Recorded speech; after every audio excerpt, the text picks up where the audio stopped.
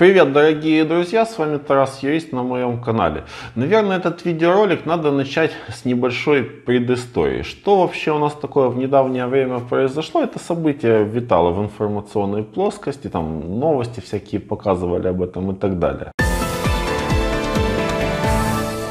Время новостей в студии Анна Ниченко. Здравствуйте.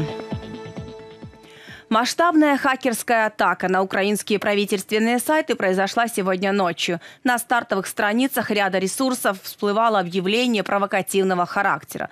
Как сообщили в Государственной службе спецсвязи и защиты информации Украины, чтобы локализовать техническую проблему и не допустить ее распространения, работу правительственных сайтов приостановили. Большая их часть уже восстановлена, другие будут доступны в ближайшее время. Вот такое вот, друзья, произошло. Действительно, об этом в многих новостях сообщали. Ну, вроде как и ничего страшного, какие-то там правительственные сайты. Что нам до них дело? Есть там какой-то сайт какого-то министерства. И тем более, все это в дальнейшем, как говорят, уже и восстановили. Что, кстати, хочу заметить, об этом сообщают наши официальные службы. Державна служба спеціального зв'язку та захисту інформації України.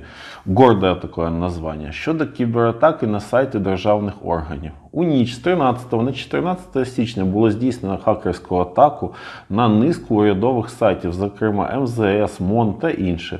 На головній сторінці цих сайтів було розміщено повідомлення провокаційного характеру. Контент сайтів при цьому змінено не було і витоку персональних даних не відбулося. Оце підкреслюю, що витоку не відбулося. З метою недопущення поширення атаки на інші ресурси та локалізації технічних проблем тимчасово призупинено роботу низки інших урядових сайтів. Зараз Держспецзв'язку спільно із Службою безпеки України та кіберполіцією збирає цифрові докази та займається розслідуванням інциденту. Більшу частину постраждалих державних ресурсів уже відновлено, інші будуть доступні найближчим часом. Також повідомляємо, що мобільний застосунок дія працює в штатном режиме. Достаточно серьезные там службы вот эти все собрались, киберполиция собралась, кроме того, с СБУ, и они там все вместе что-то крутят, расследуют, перекрывают. То есть они реально работают, чтобы персональные данные никуда там не вытекли, как говорится, не утекли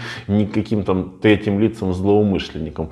И кроме того, хочу заметить, что вот эта ДИА, наша известная очень в Украине, которой многие сейчас пользуются, тоже там все нормально, они отдельно, вы заметили, в конце об этом написали. Не стоит переживать. Все, короче, хорошо. Я думаю, стоит им поверить. Такие же авторитетные службы. А, еще вот кое-кого послушаем. Давайте. У ніч з 13 на 14 січня було здійснено хакерську атаку на низку урядових сайтів, зокрема Міністерства закордонних справ, Міністерства освіти та науки і інші. На головній сторінці цих сайтів було розміщення повідомлення провокаційного характеру. При цьому контент сайтів не було змінено, а витоку персональних даних за наявною інформацією не відбулося. Застосунок Дія працює у штатному режимі.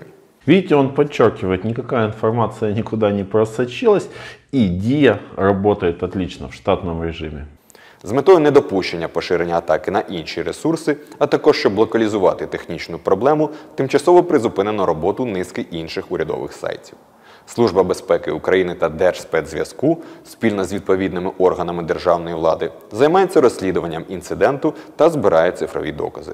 Більшу частину постраждалих державних ресурсів вже відновлено, інші будуть доступні найближчим часом. Красивый такой, интересный молодой человек. Единственное, жалко, что он не бритый.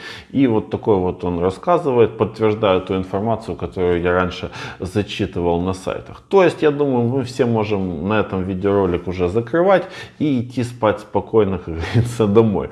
Но не тут-то было. Всплыла одна еще такая очень интересная информация ну, на иностранном хакерском сайте.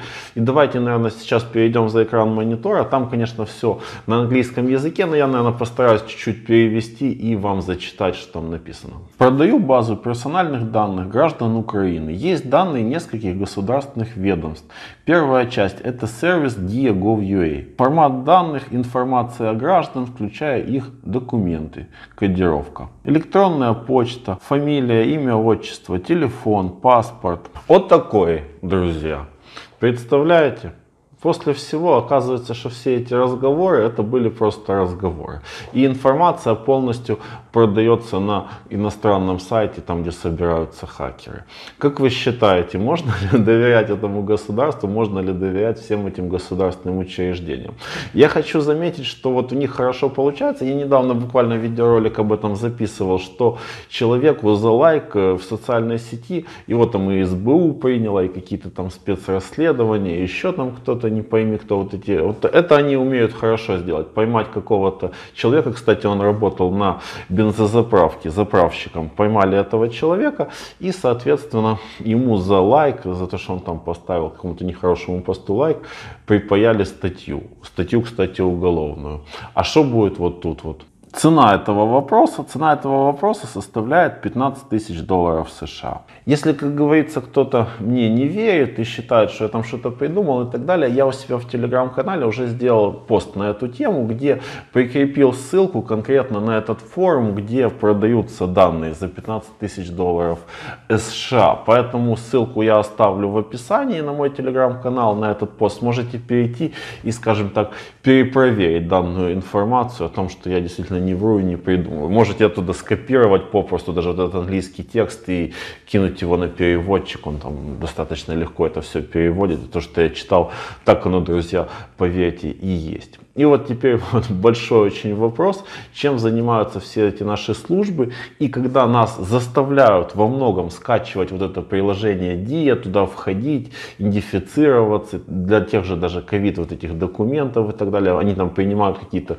постановления, то, что в бумажном виде оно не катит, надо только в телефоне, чтобы оно было подтвержденное и так далее. Никто ни за что не отвечает. И уж поверьте мне, даже если ваши данные завтра сольют, у вас там потом что-то украдут с банковской карточки, либо еще вас куда-то подставят в какую-то не очень законную схему без вашего на то ведома, то естественно тут говорится, ни с кого же ты не спросишь. Ты же с государства Украины не спросишь, с Министерства цифровой этой трансформации, будь неладно, не спросишь, с министра этого не спросишь, с Зеленского не спросишь, с СБУ не спросишь. Никто ведь ни в чем не виноват. Ну, как говорится, маємо те, що маємо, как сказал наш первый президент. Получается, никто у нас ни за что не отвечает.